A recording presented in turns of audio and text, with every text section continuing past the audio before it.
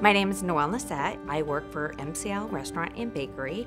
We have over 20 restaurants. We were in the midst of a remodel and we decided that we were going to try a new color palette in our restaurants. I had decided to try a new style of carpet, which was a carpet tile. Asked the manufacturer of my carpet to give me the exact same carpet that I had. Unfortunately, within three months, it was a completely different color. After a year and a half of investigation on my part and the manufacturers, we realized that Antron fiber was not in my carpet, which had been in all of my previous carpets for the last 20 years.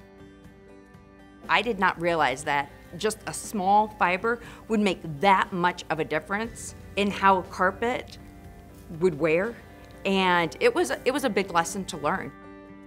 The biggest thing that I like about the Antron fiber in my carpet, it is the wearability, it is the cleanability, and it is just, it's a great fiber.